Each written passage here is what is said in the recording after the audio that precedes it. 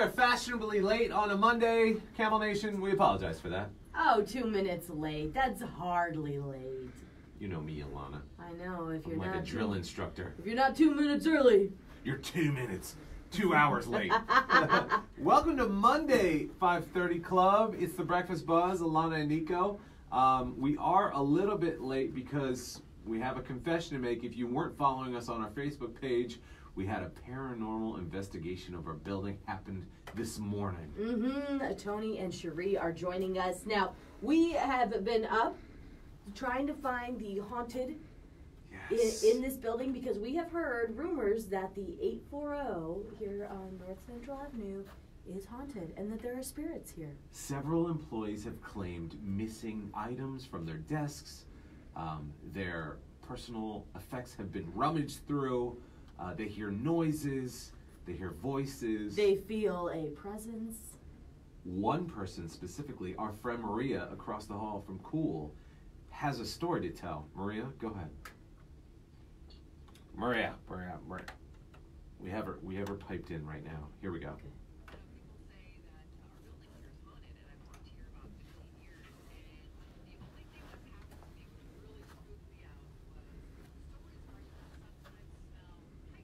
Mm-hmm. Oh.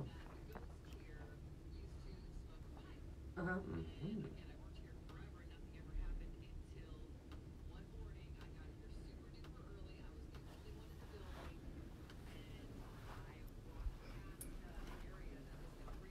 Mm-hmm.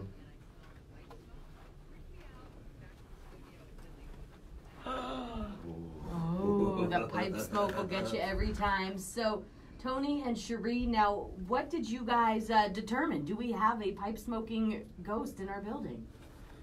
Well, we, we didn't get the opportunity to experience the pipe smoke smell, but I can tell you from, you know, the last eight years of doing investigation is that smells are a very common indicator of a spirit being in a building, whether it be perfumes, flowers, cigarettes, pipe smokes, anything that's very distinct smell and isn't common or used by somebody in the building is a very good indication that there's some sort of paranormal activity going on. So her reference to smelling that pipe smoke um, is a pretty good indication that there there very well could be something going on.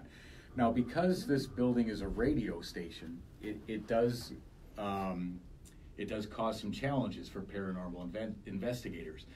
To determine a flat rate EMF is, is very hard because each one of your rooms is filled with equipment and you have fluctuating EMFs from you know every five steps that you take. So that makes it difficult to determine. Um, And ghosts will normally make it spike or have a, a big effect on the electromagnetic frequencies. That is around them. That is absolutely correct. Gotcha. Um, the Okay. theory is is that a spirit will um, emit electromagnetic frequency, and when you get fluctuations in that, and that's what EMF the EMF tools are for, will indicate those fluctuations. Now, because we only had an hour to do it, we we did it rather quickly. And normally in an investigation, you would spend, you know, eight hours, days Wow, days. we, we've investigated specific locations um, for days to really determine whether it was haunted or not. So I cannot say without with any certainty that this building is haunted. But what I can tell you is, is that the last set of audio that Cherie did um, down that long hallway, there are two EVPs on the end of that um, recording, and those tell me that there very well might be some activity here. Okay. So she recorded her voice asking questions. Correct. And then you amplified the audio to bring up what was underneath or the, the extra frequencies that we couldn't hear necessarily. Correct. And you heard a spirit? We, we have a voice that we don't believe is anyone that was in the room. Now, there were a couple of people, but we, we can clearly separate those voices from what is we being have said to at get the this end. audio online immediately. We do. Like ASAP. Because it was. We're gonna post everything Camel Nation, so you can check our Facebook page. Uh, we, you can check the Breakfast Buzz or Camel at 1079, and uh, We we'll have used. everything They had all sorts of cameras. They had these infrared cameras that just picked up heat signatures and. Yeah, there was uh, skeletal mapper that maps out, um, basically takes infrared to, um, to determine if there's a physical body there. And when I say physical, I say that loosely because obviously spirit doesn't have any physical body. But the, the camera that's being used is actually from an Xbox system and it um, records a player's motions. If they jump, their character jumps. a if they put their arm out. Got it. So it uses that technology and then uses infrared grid system to look for, for body figures. And it, being infrared, the human eye can't see infrared, it may see something that we can't. So if a stick figure shows up on the screen, pretty good indication that, yeah, there could be something standing there. And Cherie and I over the past have, have actually interacted with those figures and um, had them stand up, shake our hands, and they, they do it. So I guess I may be too much of a like instant gratification kind of person, and I like need to see results immediately. So with your analysis, um, you said that there could be something here in this building. Obviously, I didn't witness enough for me to change my mind on whether or not spirits are among us, or ghosts, or demons, or whatever you want to call them. So, thank you for coming out. I still don't believe. It's gonna take a lot more than that. I, I'm not one of those people that I'm not gonna need to see a spirit walk by me right now. But if you give me a little bit more, so I guess we just have to spend more time with it, and we definitely have to check out the San Carlos, because they said they took they they did all the readings and everything, and there's a ghost there. His name is Scott, and apparently he took his own life back 80 years ago, and he's still living at the San Carlos Hotel. So maybe I gotta hang out there, do a night there. I, Uh, don't, I, I hear don't that know. the San Carlos. Well, they just pointed at the San Carlos when we were standing in the parking lot. They're like, I don't know what's going on in your building, but down over there, there's something going on. I don't know, Lana.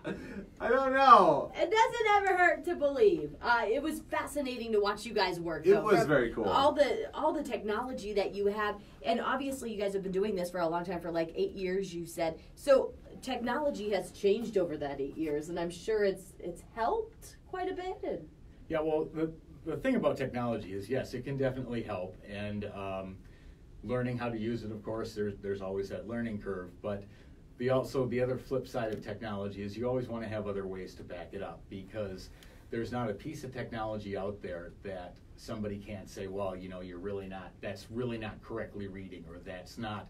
And there is some truth to that. I won't deny that at all. But they are tools to help us determine changes either in the atmosphere or in the, your surrounding area or picking up figures or whatever the case may be. But when you can line up three, four, five of those technologies with similar results that back each other up, that's when we know there's something going on for sure. how can people get a hold of you guys if they want you to come out to like their business or, or their home or, or whatever? variety of ways. We've got um, a website uh, personally for Entity Voices, and that is www.entityvoices.com.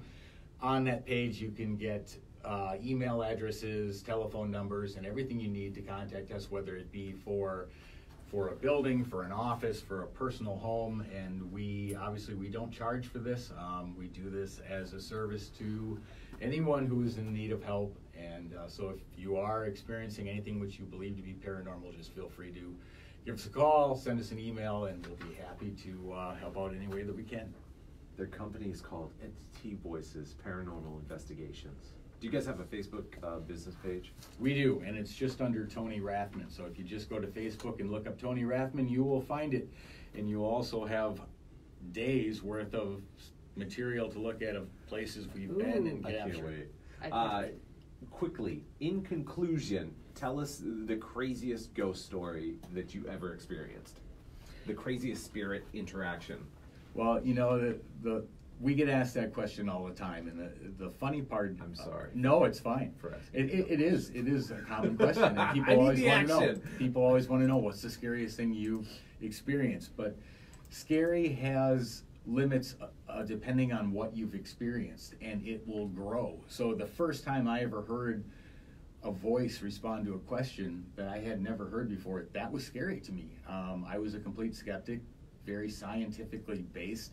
When I heard my first female spirit literally give me her name when I knew nobody was around, that shook me up for weeks. I mean, how many times did I play that? Thousand times? I mean, I couldn't believe what I was hearing or how it happened. But the most recent scary event, which happened to both of us, is we were down um, in Ajo, Ajo, Arizona. We recently opened um, the Copper Canyon Paranormal Research Center, which was the old Phelps Dodge Hospital in Ajo. And we had spent um, about four hours in there investigating, and we had a ton of activity. Well, we got home about two, three o'clock in the morning. I can't remember what it was. We were both we were both sitting in bed, and we were listening to audio that we had recorded. And something white, very white, and almost almost fluffy looking, went across the corner of the bed, and both Cherie and my heads literally followed it across the bed.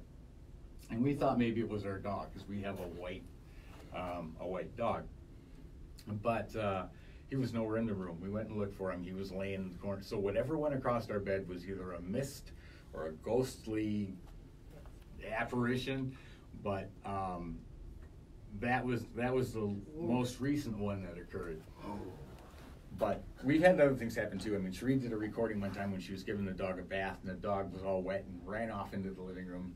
She was recording him when he came out of the tub, but then she threw her phone onto the bed to go chase him out in the living room but she left her phone recording and she forgot about it. So she had recorded like an hour and 15 minutes of not video because it was laying on the bed, but the audio. Well, when I got a hold of that audio, we had spirits in our house making comments to Cherie, making comments about the dog, and like six, five or six different voices. Nobody Oh my was in the gosh. house at the time but her and the dog. Oh.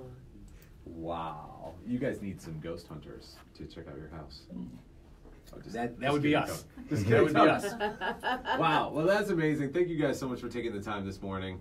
Uh, we appreciate you, your efforts, and uh, you know, who knows? Maybe we'll do it again, and if we start hearing something, I don't know. That's right. Make it longer this time. Yeah, well, all night, and you're volunteering to be up. All I night. did. That was nice. That was nice. You guys do a fantastic job. Thank you for bringing all your equipment, showing us what you guys do, taking us into your world for a little bit. That was a very fun. It's been a fun morning already. Yeah, Great. Great. Thank you guys. Great, thank you. Appreciate you. All right. E EVPI Entity Voices Paranormal Investigations. Check them out on Facebook. Check them out on the website. Uh, it's just entityvoices.com. We got to get to saying hello to the 530 Club. They are patiently waiting for us. Uh, Don Ye checked in, said good morning. R. Gilbert White says good morning, 530 Club. And Crystal says, hi, good morning, 530 Club. Yes, I absolutely believe in ghosts. Good. Excellent. I do not, Crystal. Sorry, guys. No offense. I think it's hocus pocus.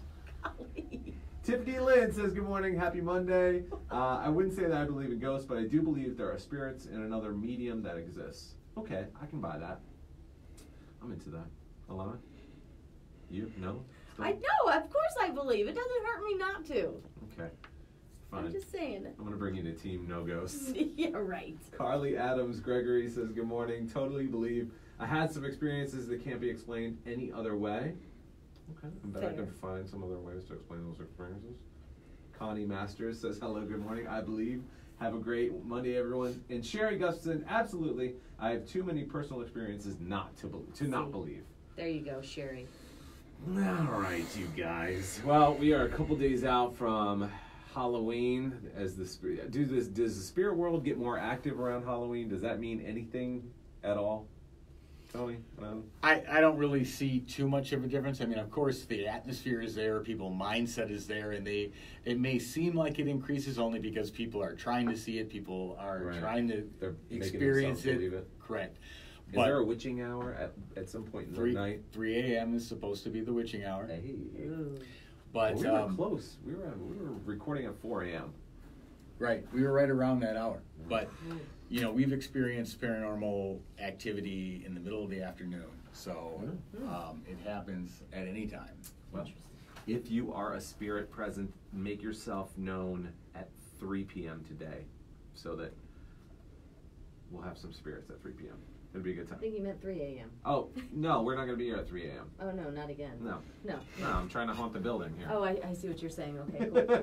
Coming up this morning, of course, we have those Cash Camel keywords. They're going to be your last week to win $1,000 of the Cash Camel's money. That starts at about 7.20 this morning, and then we're playing Battle of the Buzz. For two tickets to the Charles Schwab Cup, November 9th, Phoenix Country Club. Morgan Wallen's going to be playing there. And we are putting you in to win the grand prize, which is you get to walk the course with some of the PGA legends That's so cool. and then go into a special area and have dinner.